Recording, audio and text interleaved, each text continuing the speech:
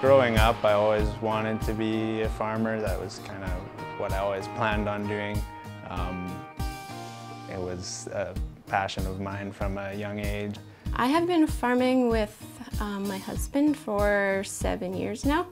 I enjoy farm life a lot. Um, it is, it's so great to be able to be together as a family every day and um, teach our kids about hard work and taking care of animals and yeah, it's just such a blessing to be able to be together as a family.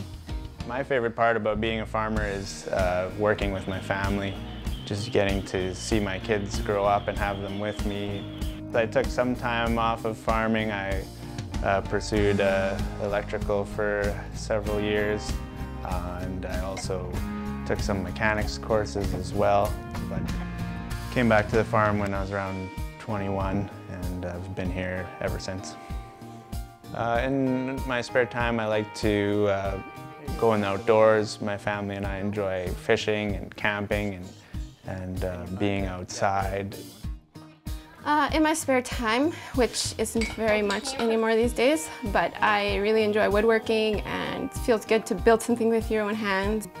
Um, some of the bigger things I've done, I've built a bed frame for our daughter and I've built a bookshelf and a TV stand and I think, and a bench. Yeah, there's a few things around our house, can't quite remember. My parents have done a very uh, good job at uh, letting me take over and kind of take a back seat now and uh, let me manage with my own style and uh, with my own decisions. They're fully supportive with everything I do, so that's very nice. Our in-laws are fantastic. They help us out so much. Um, they help out where needed on the farm, but they're also always very ready and willing to um, watch the kids when needed. Um, it's a blessing to have such fantastic in-laws and to have them just down the road is, is amazing.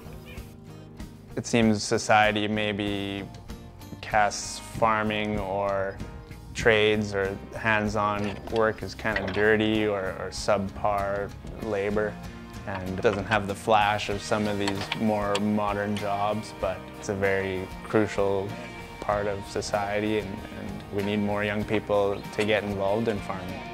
Now I often see younger faces, guys my age, and it's, it's nice to see the next uh, generation taking over. Our turkey is all in our province. Uh, the eggs are laid only less than 100 miles from here. Uh, then they're hatched locally. They're brought here by local transportation. We raise them here. They're processed locally and then they're sold here. So it's, it's a complete Manitoba production. My top priority is always the welfare of my birds to make sure that they are uh, well fed and taken care of and comfortable. It's extremely important to us that our birds are looked after and um, we buy our turkey from the grocery store just like everyone else. I'm definitely uh, enthusiastic about the agriculture in Manitoba. I think it's a thriving community. I think it's a strong community and uh, it will continue to grow and prosper. All right, everyone, be excited for the turkey.